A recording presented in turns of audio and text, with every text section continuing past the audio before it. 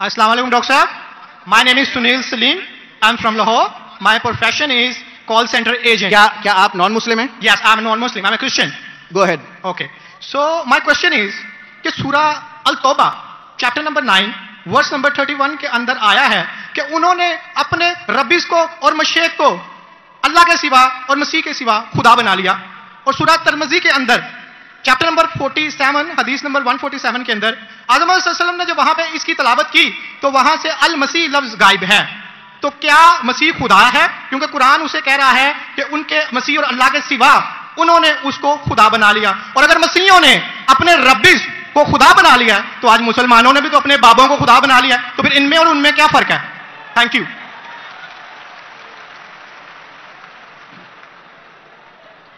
अगर मैंने भाई साहब का सवाल सही सुना क्योंकि वो फास्ट बात कर रहे थे और मेरा माइक्रोफोन जो है उसमें साफ़ सुनाई नहीं दे रहा। अगर मैं आपका सवाल सही सुना आपने कहा कि सूर्य तौबा सूरह नंबर नौ में लिखा है कि कुछ लोग ने मसीह सलाम को अपना रब बना लिया।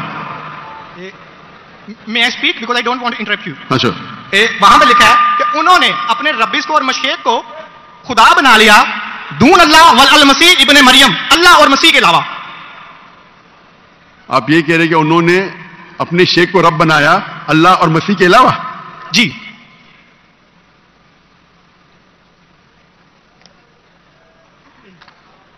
सूरह तौबा? आई नंबर 31 अल्लाह के अलावा मसीह को रब बनाया। ये तर्जमा गलत किया है ना मुस्लिम्स ने यही तो मैं बताना चाह रहा हूँ। सर आप सवाल पूछ चुके हैं अब sorry sorry I am sorry sorry sorry बा मुहावरा तर्जमा ना ये पढ़े ना? ये बा मुहावरा तर्जमा ये सवाल पढ़े। ये ये तर्जमा पढ़े। अच्छा। ये पढ़े तर्जमा बोले आप। नहीं लेट हिम स्पीक उन्होंने अपने उलमाओं और मशएख- तौबा आयत नंबर चौदह आपने कहा ना? नहीं नहीं 31 thirty one sorry 31 thirty one यार मुझे इस लफ्ज का मतलब समझना दून अल्लाह वल अल मसीह इब्ने ठीक ठीक। ये ये तर्जमा पढ़िए जो बा मुहावरा तर्जमा थर्टी वन ताकि- आपने बिल्कुल गलत कहा। और मुझे सौ फ़ीसद सही था आपने गलत कहा। मैं चेक कर रहा था। आपने बिल्कुल गलत तर्जुमा कहा। मंगदी में करूँगा फिर उर्दू में कहूँगा।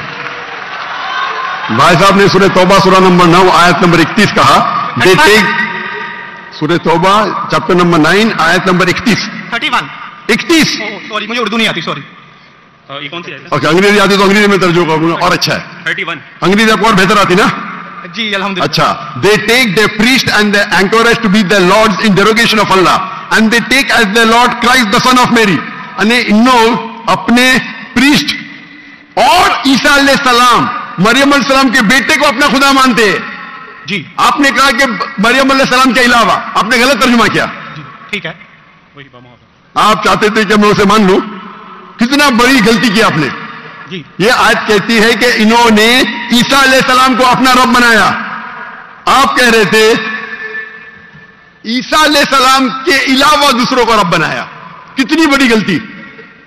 अगर आप अनजाने में किए तो आपको माफ़ है। जानबूझ के किए तो शैतानी है।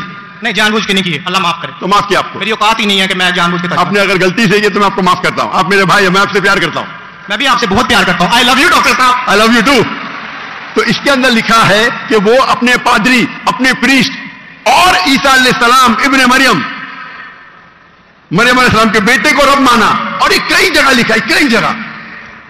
अल्लाह ताला फरमाते हैं, सूरह माइदा में, सूरह नंबर पाँच, आयत नंबर 72 लकत कफर लजीना कालू इन अल्लाह ईसा इब्न मरियमा, वो लोग कुफर करते हैं। जो लोग कहते हैं कि ईसा सलाम, मरियम सलाम के बेटे अल्लाह है। वकाल अल मसीह लेकिन ईसा सलाम ने कहा, या बनी इसराइल ओचना इसराइल, ओ अब्दुल्लाह अल्लाह की इबादत करो, रब्बी और रब्बकुम। जो मेरे रब है और तुम्हारे रब है। इन में यशरक बिल्ला। और अगर किसी ने अल्लाह के अलावा किसी को शरीक किया इन में यशरक बिल्ला फकत हर माल जन्ना। जन्नत उसके लिए हराम है। वमा वह नार, वमा अंसार और जहन्नम उसके लिए है, और उसके लिए कोई मददगार नहीं। तो कुरान में कई जगह लिखा है। जब आपने कहा कि ईसा सलाम के अलावा रब बना रहे तो मैं जरा चौंक गया। मैं बोला, देख तो लू मैं कुरान मस्जिद को। तो अक्सर कुरान मजीद में क्या है कि जो मसीहत जो नसारा थे उन्होंने गलती की। और ईसा सलाम को रब बना दिया। और ईसा सलाम ने जन ईसा सलाम क्या जवाब दिया? या बनी इसराइल? शम्मा इसराइल अदोनाई एलोहीम। वो वो कुरान का नहीं है वो बाइबल का है। जी जी।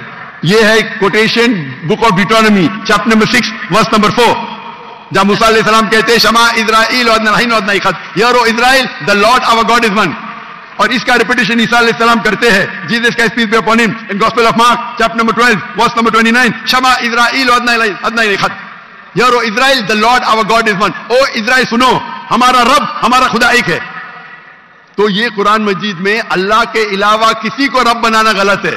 चाहे वो अपने आप को ईसाई कहे या मुस्लिम कहे। अगर अल्लाह के अलावा किसी को भी रब बना तो आप जो पूछे कि मुसलमान अल्लाह को रब बनाते मेरे हिसाब से कोई भी मुसलमान अल्लाह को रब नहीं बनाता। नहीं बाबों को बाबों को ये रब क्यों बनाते हैं मुसलमान? जी। जिस तरह ईसाइयों ने अपने पादरियों को और रब्बीस को खुदा बना लिया उस तरह आज मुसलमानों ने अपने बाबों को क्यों खुदा बना लिया? मैं कोई मुसलमान को नहीं जानता हूँ जो अपने बाबा को रब बनाए। मैं नहीं जानता। पीरों को मॉन्क्स को। कौन? Monks and पीरों। डॉक्टर साहब पीर दरगाह टाइप पीर हाँ पीर।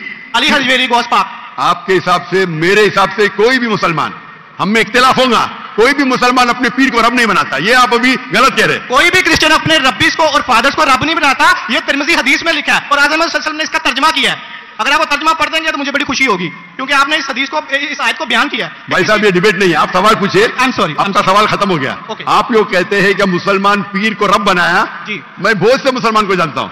जी। इख्तिलाफ होगा लेकिन ये कहना कि पीर को रब बनाया ये गलत है।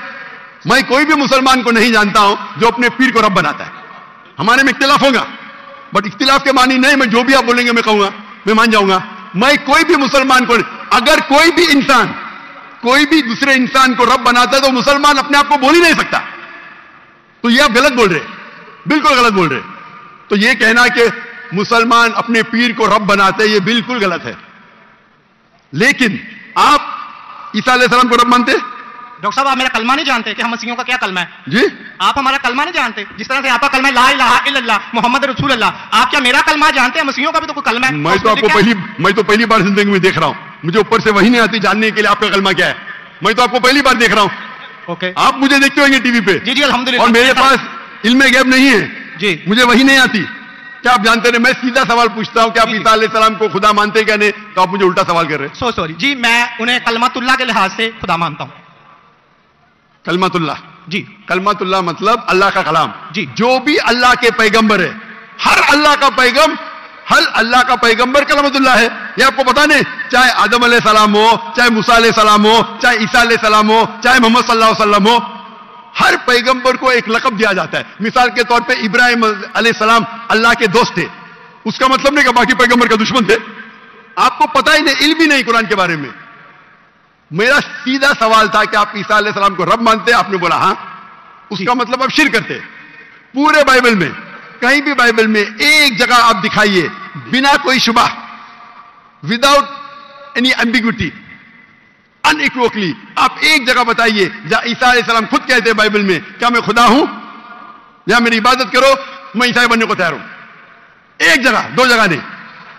किधर भी बाइबल में नहीं लिखा है कि ईसा सलाम खुद फरमाते हैं कि मैं खुदा हूँ या मेरी इबादत करो। अगर आप बाइबल पढ़ेंगे gospel of John chapter number चौदह वर्स नंबर अट्ठाईस my father is greater than I मेरे वालिद, मेरे रब, मेरे से महान है.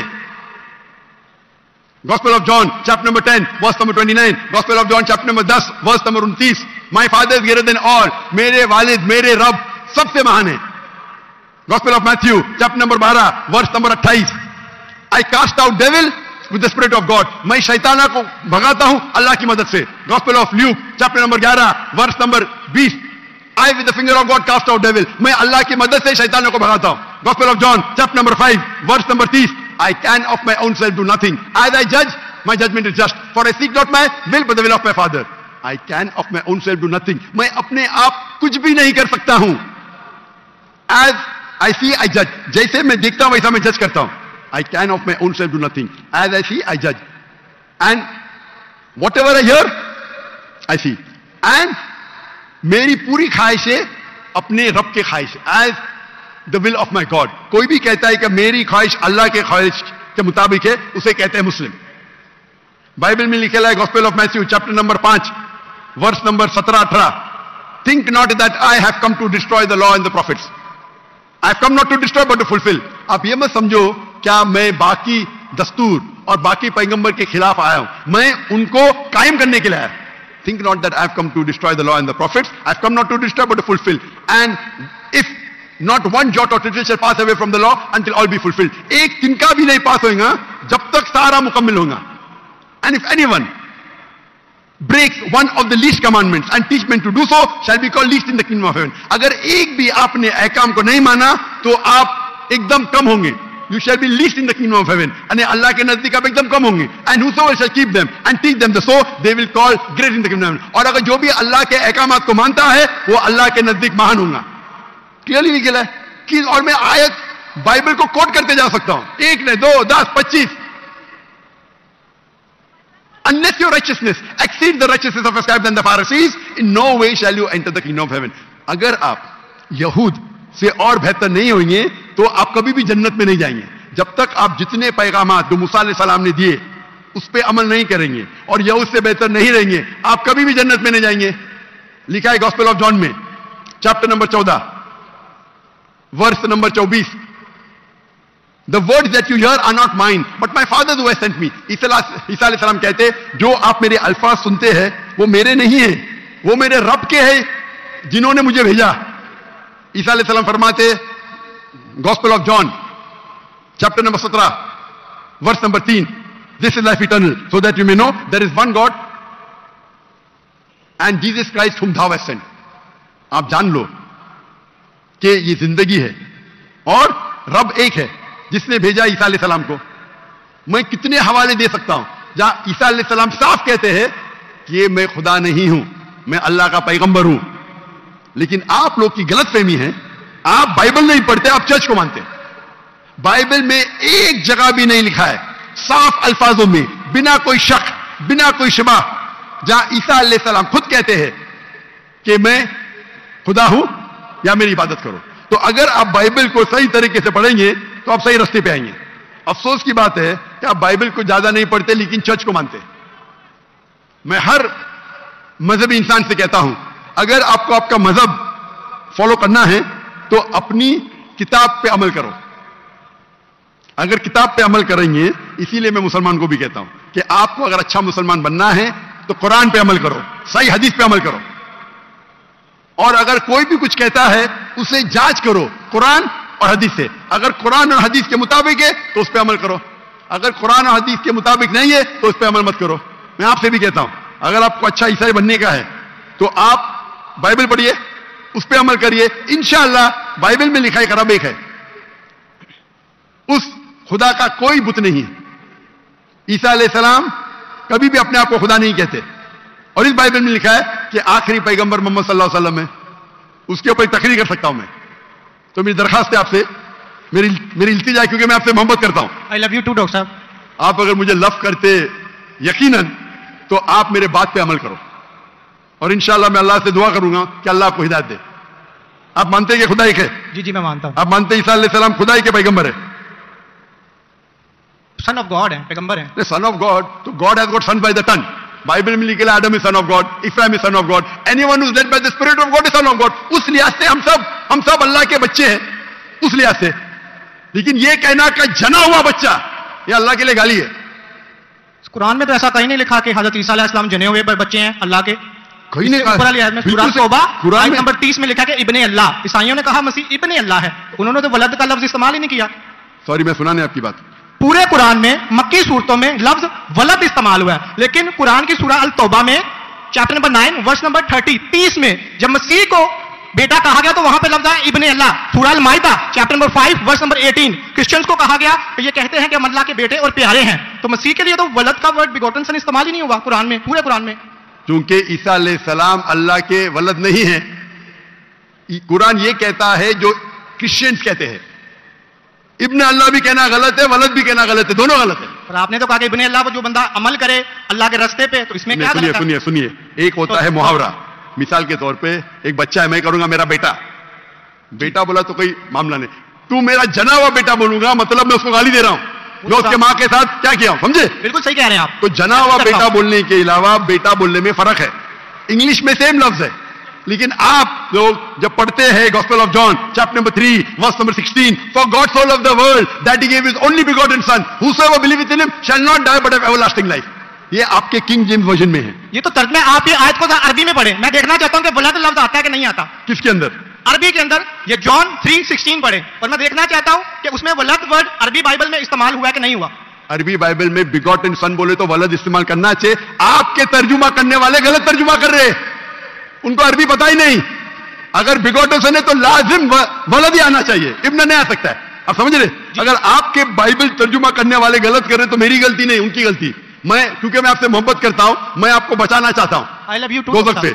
मैं आपको दोजक से बचाना चाहता हूँ। तो आप अभी यकीन करेंगे कि ईसा सलाम अल्लाह के पैगंबर है? जी जी। मानते हैं कि पैगंबर है? जी जी। आप मानते हैं कि ईसा सलाम खुदा नहीं है?